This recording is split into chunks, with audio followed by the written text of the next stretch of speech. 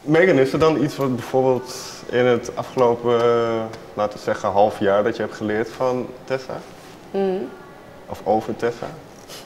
Is er iets wat ik in dat half jaar geleerd heb? Dat over gewoon afgelopen half jaar, omdat je Oh. in één keer veel met elkaar bent. En, of een jaar mag ook. Mm, tuurlijk. Eh, Moet ik iets op gaan noemen? Heel veel dingen.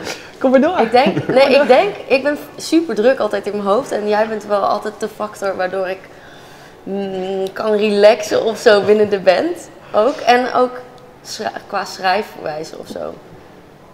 Ook veel meer. ehm, ik ben altijd een beetje te vreemd of zo, of met keuzes of zo. En ik, Nou, niet vreemd, maar een beetje...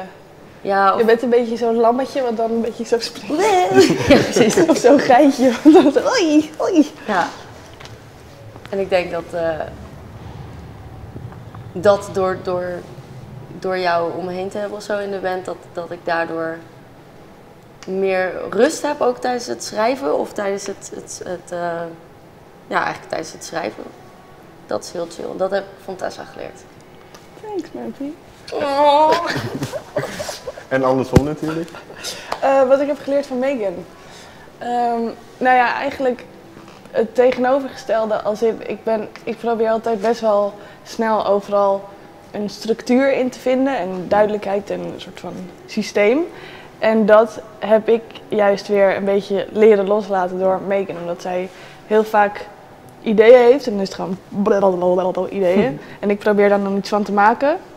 Maar andersom, bij eigen ideeën probeer ik er eerst iets van te maken en dan pas gooi ik het naar buiten. Terwijl het ook heel goed kan zijn om gewoon een beetje in de lucht te gooien en dan zien wat er mee gebeurt. Hmm. Zowel met ideeën over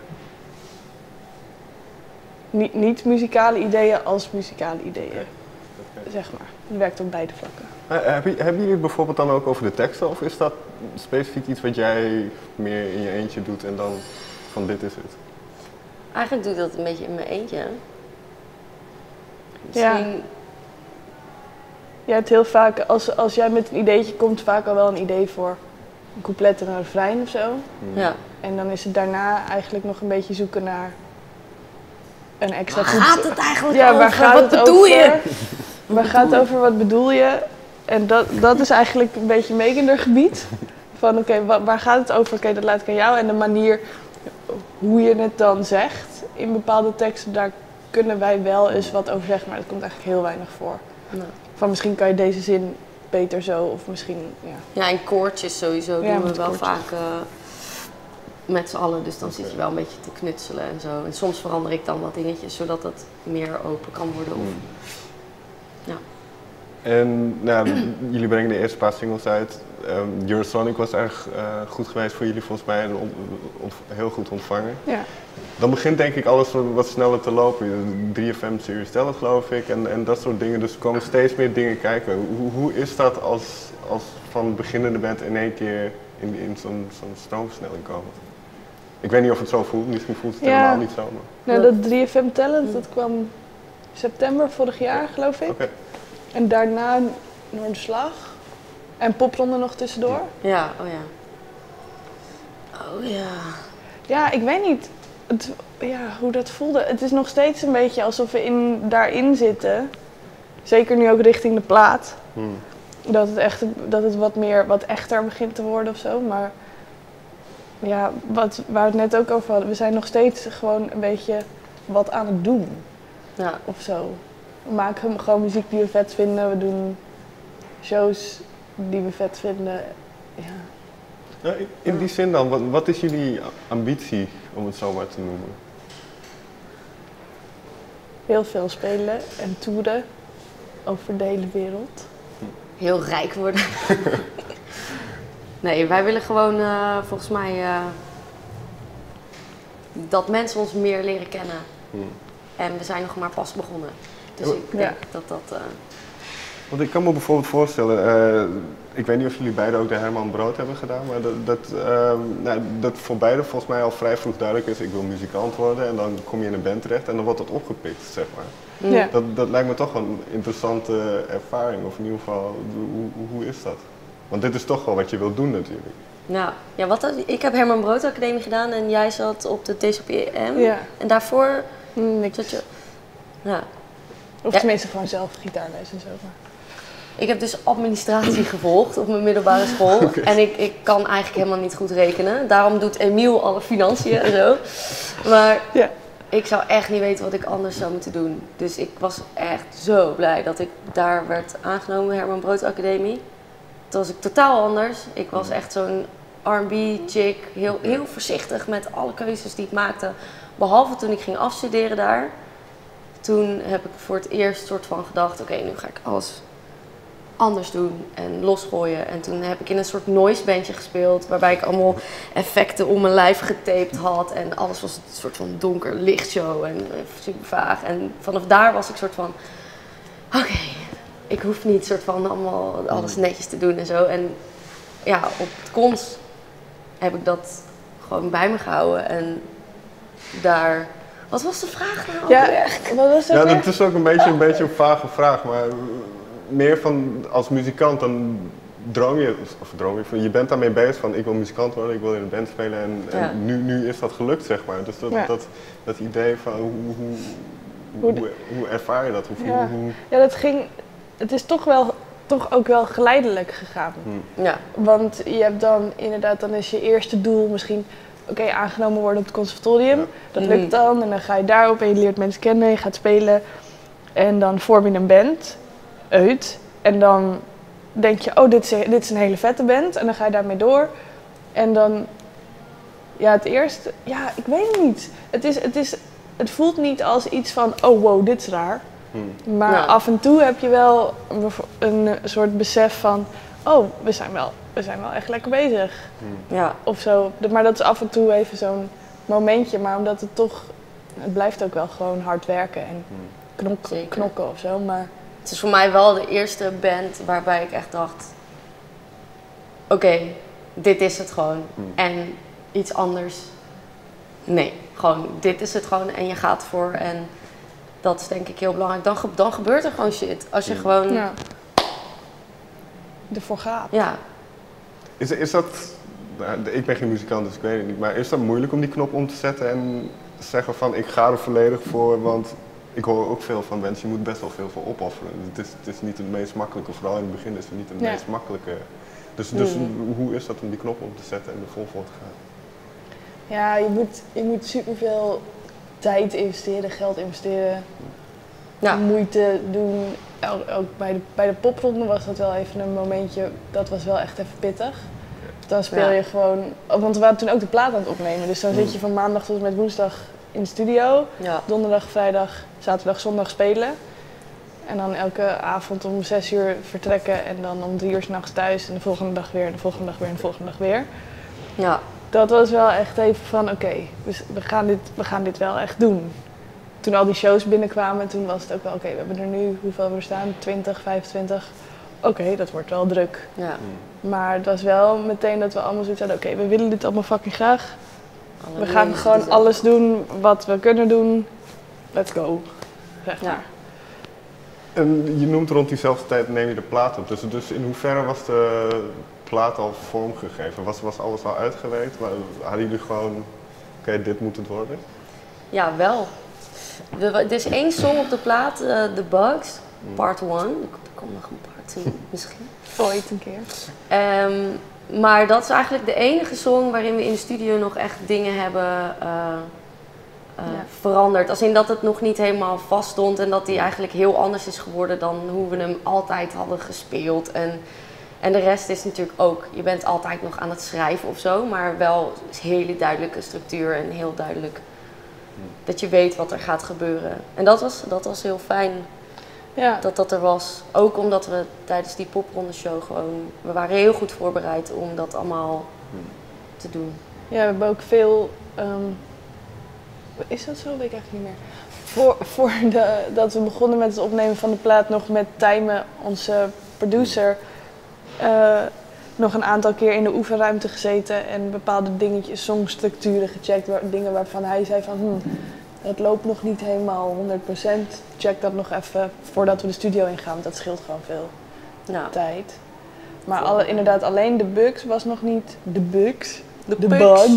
Eh, was nog niet helemaal af. En de rest was eigenlijk al he- vrij duidelijk. Al hebben we in de studio natuurlijk wel Mhm. Nog toegevoegd. Extra Ja. gitaarlaagjes, soundjes, effecten. Wat, hoe, hoe, hoe belangrijk is zo'n debuutplaat als, als beginnende band? Ik denk heel belangrijk, maar Ja. ik denk, zijn we daar heel erg mee bezig geweest? Weet ik niet. Ik denk niet dat we heel Of erg... was het gewoon, jullie hadden 10, 12 nummers en oké, we kunnen wel een plaat maken? Was het meer zo'n idee? En we wilden wel echt heel erg beginnen met gewoon een plaat. Ja. Maar ik denk niet echt, tenminste ik zelf heb niet echt heel erg nagedacht over, oh hoe super belangrijk is het. Het is gewoon, je wilt het zelf Ja, en wat ermee gebeurt. eh, zien we dan wel. Dat, eh, ja, wij vinden hem gewoon vet. Ja, Dus wij vinden hem fucking vet. dan, dan denk je wel, er gaat vast wel iets leuks mee gebeuren. Maar, niet we hebben niet- speciaal. Nee, we hebben niet gedacht, oké, dit is onze eerste plaat, dus daar moet wel een hit op staan of zo. Helemaal niet. We hebben gewoon de liedjes gepakt waarvan wij dachten, oké, dit vinden wij vet. Ja, Dit past ook een beetje bij elkaar. We hadden ook nog een hoop andere liedjes.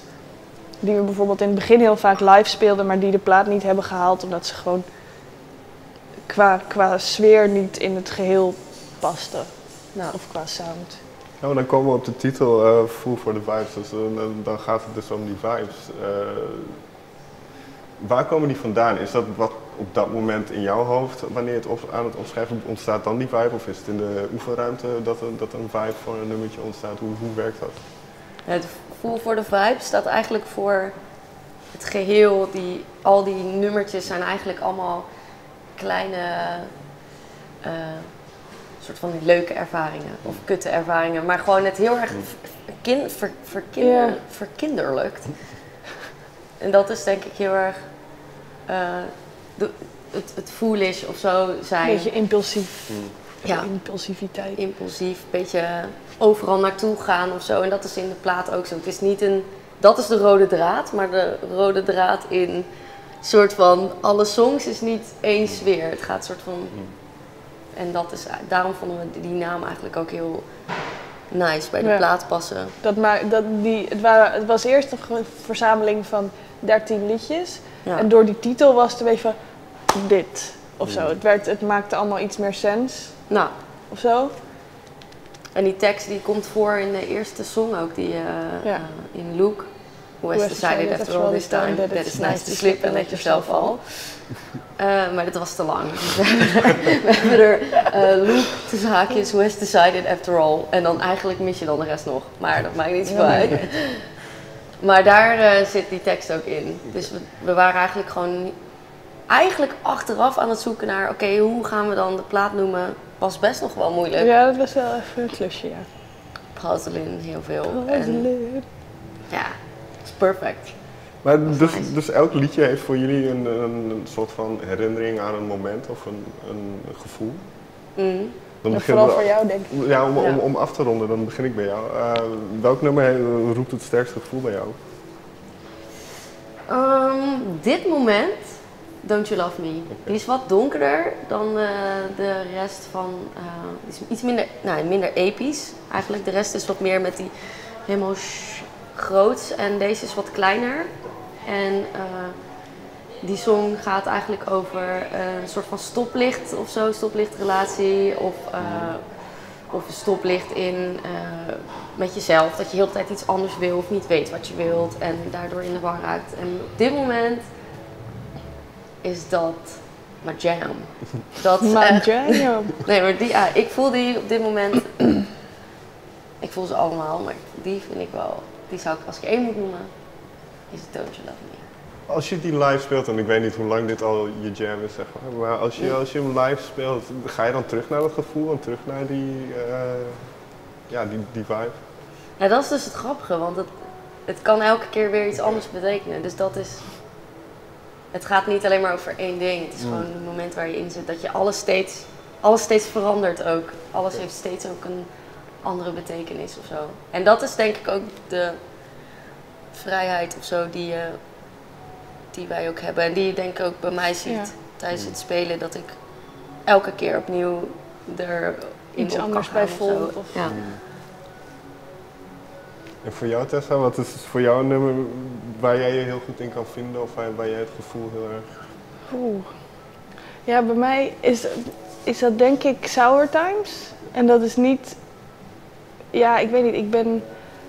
Dat is vooral omdat ik door Sour Times heel erg terugga naar het moment dat wij samen in de oefenruimte zaten. En dan hadden we dat refreintje al. En toen waren we heel gaan zoeken van, oké, dat refrein is heel vet. Oké, hoe gaan we verder, hoe gaan we verder? Toen op een gegeven moment kwamen we bij een coupletje. En dat was een moment waarop het echt zo samenviel voor mij. En toen dacht ik, oh, dit is heel vet. Dit wordt echt super nice. Niet per se vanwege de betekenis van het liedje of zo, maar gewoon door, de, het, door dat moment in die oefenruimte dat ik dacht, oh, dus dit zijn we aan het doen. Of zo. Toen maakte het ineens heel erg sens. En toen dacht ik, dit is, dit is heel vet. En dat gevoel, dat liedje is eigenlijk vanaf... Ja, het is eigenlijk altijd al wel een beetje mijn favo geweest. En het is nog steeds wel. Is ook het meest poppy, Ja, denk dat ik. bevestigt weer heel erg wat jij, Ja. wat jij aan het begin al zei. Hmm. Ja. Dat, gewoon vrolijk, leuk. ja, vro- vrolijk, leuk. Nee, dat is gewoon, ik weet niet, dit is gewoon mijn favoriete song. dat Oké. maakt uit. Als, als, als laatste dan, ehm, jullie gaan ook eh Riepenbaan spelen, ook een, een groot showcase-achtig festival. Eh, hoe hopen jullie, of wat hopen jullie in het komende jaar te kunnen doen met, met waar jullie nu staan? Meer naar het buitenland, denk ik. Ja. Denk ik heel erg. Waarom is dat voor, want ik hoor dat vaker, waarom is dat voor een Nederlandse band belangrijk? Nederland is gewoon klein. Ja, Je bent gewoon je vrij bent er snel... snel doorheen of Ja. zo. En ik denk ook dat qua onze muziek of zo, dat dat, dat meer... Dat het misschien een beetje te alternatief is of zo. Of ja, ik weet niet. Ik denk dat, dat er... Ja, ik wil eigenlijk dat andere mensen buiten Nederland ons ook kennen eigenlijk. Dat is geen slechte reden. Nee, maar dat, dat sowieso. En ik denk dat, eh, ik denk dat daar wel een goede plek voor ons is. Ik wens jullie heel veel succes. Dankjewel. Dank jullie wel voor jullie tijd. Jij ook wel? Jij bedankt.